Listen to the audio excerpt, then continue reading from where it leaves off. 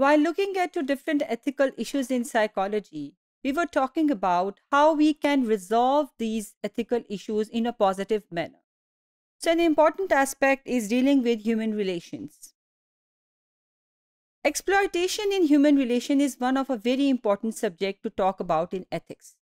Uh, this is very much important that psychologists do not exploit person over whom they have either the rights to supervise or they have any other authorities such as they could be their clients, they could be the patients, students, research participants and employees. So mainly we are concerned that we cannot use any kind of influence over other person. अगर किसी भी capacity में एक individual authoritative role में काम कर रहा है तो as a psychologist he cannot suppose to you know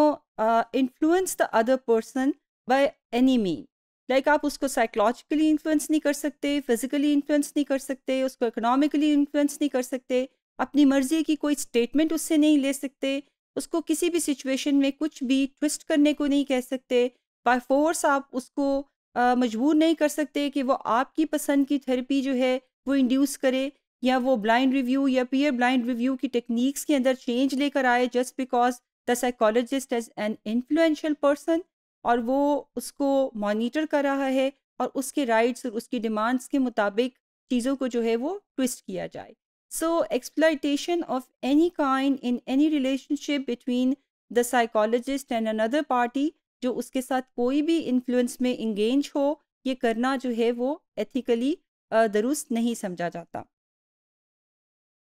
Cooperation with other professionals is another domain in human relations which need to be uh, looked into. When indicated and professionally appropriate, psychologists cooperate with other professionals in order to serve their clients in a better way, in order to serve the patients effectively and appropriately. Now we have to see कि किन situation के अंदर इस तरह की सूरत हाल पेश आ सकती है जब कॉपरेशन की ज़रूरत पेश आएगी साइकोलॉजिस्ट बहुत सारे ऐसे क्लाइंट्स को देखते हैं जिनको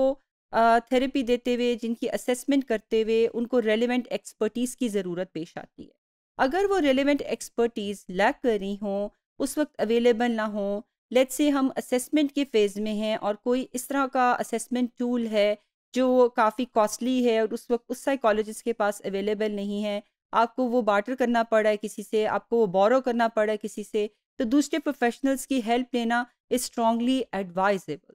तो you know as we do things in our common life कि हमें ज़रूरत के वक्त से कोई हेल्प लेनी पड़ती है तो हम लेते हैं इसी तरह प्रोफेशनली भी साइकोलॉजिस्ट को किसी असेसमेंट के वर्क किसी थेरेप्यूटिक इंटरवेंशन के वर्क किसी एक्सपेरिमेंट के अंदर उन्हें एक स्पेसिफिक इन्वायरमेंट चाहिए जिसके लिए उन्हें किसी ऑर्गेनाइजेशन की किसी एजेंसी की स्टेट की आ, किसी लॉ इन्फोर्समेंट एजेंसी की हेल्प लेनी पड़ी है तो वो उसको भी ज़रूर लेंगे क्योंकि उसके बगैर वो एथिकली उस एक्सपेरिमेंट को अच्छे तरीके से नहीं कर सकते।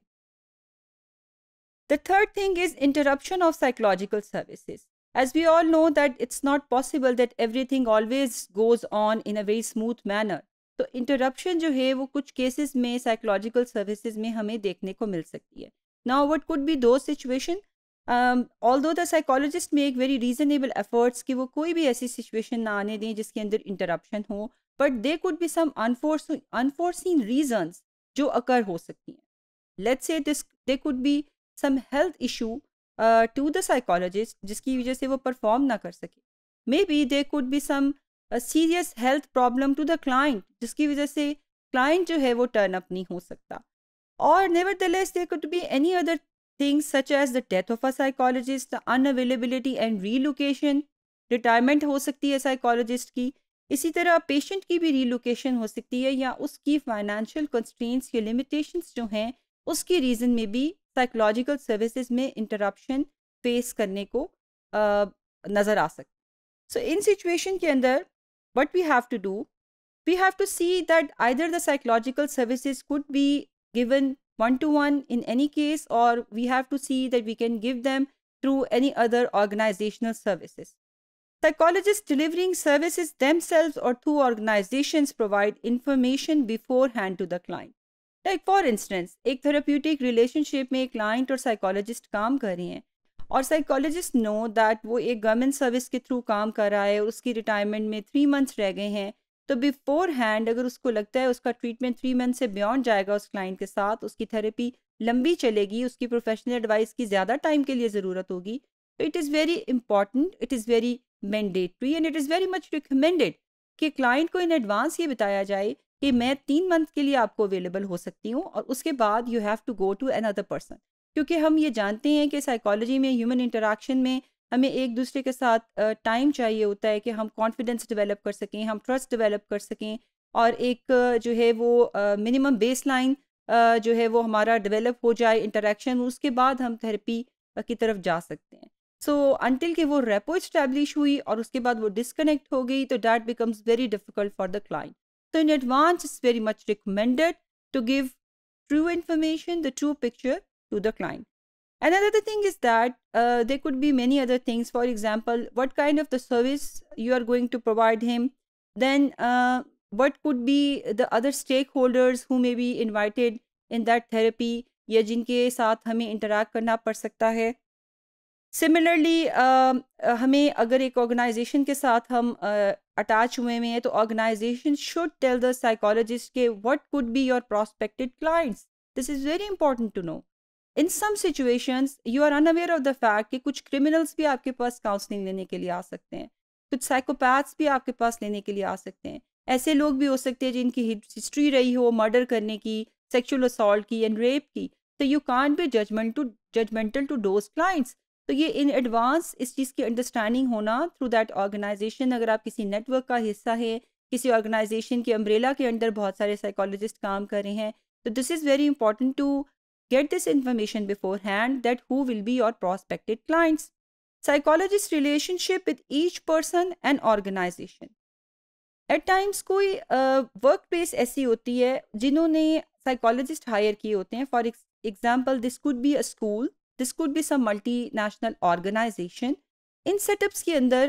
अगर स्कूल का सेटअप है तो उसमें पहले से साइकोलॉजिस्ट को पता होगा कि उसके पास सिर्फ़ स्टूडेंट्स आ सकेंगे, किस ग्रेड किस लेवल के आ सकेंगे। क्या टीचर्स भी आ सकते हैं? क्या ऑक्सिलरी स्टाफ भी आ सकता है? क्या उनके पेरेंट्स भी आ सकते हैं? क्या बच्चों के सिबलिंग्स भी आ सकते हैं? क्या एडमिनिस्ट्रेशन की फैमिली के लोग भी आ सकते हैं? तो this should be very much clearly spell out कि कौन लोग उनके क्लाइंट्स हो। इसी तरह ऑफ़िस की सेटअप के अंदर भी who can be you know available for therapy and who would be vulnerable for therapy इसकी भी थोड़ी सी पिक्चर जो है वो क्लियर होना बहुत ज़रूरी है। Then who will be going to access the information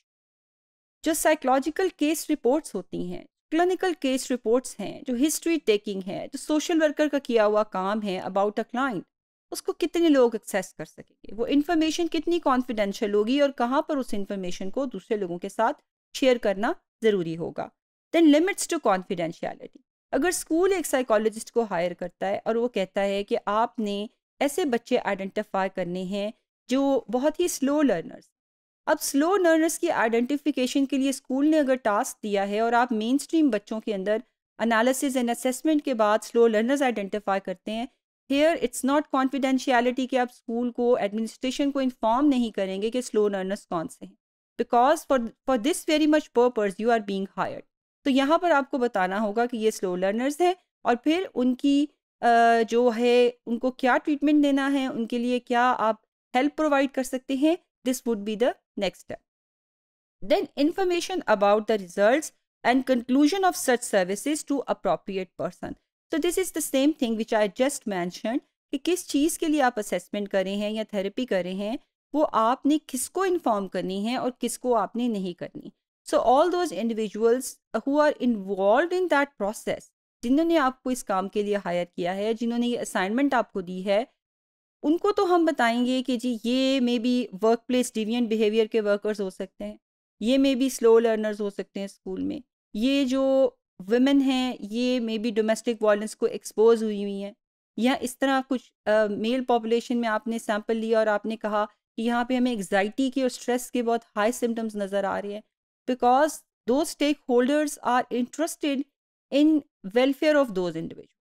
so वहाँ पर हमें ये देखना होगा कि confidentiality and right to information को हम किस तरीके से एक्सरसाइज करें। Now, if psychologists will be bounded by the law or by the organization rules from providing such information to particular individuals or groups, they so inform those individuals or the group at the outset of the services. यहाँ पर confidentiality का ये point बहुत important है कि कहीं पर हमने अगर किसी इंडिविजुअल की कोई इन्फॉर्मेशन दूसरे लोगों को देनी है तो before the start of assessment before the start of the therapy we are going to set that rule to that individual कि आपकी ये इन्फॉर्मेशन इन इन स्टेक होल्डर्स को इन्फॉर्म की जाएगी। Like it's very much important कि हम एडवांस में ये बता दें अनलेस कि कोई ऐसी टेक्निक हम यूज़ करें जिसमें हमें डिसेप्शन इस्तेमाल करनी पड़े। और डिसेप्शन से रिलेटेड जो इंपॉर्टेंट चीज़ें हैं that in what scenario we are going to use deception and we are break uh, the little part of little aspect of confidentiality uh, we will be going to discuss it in future slides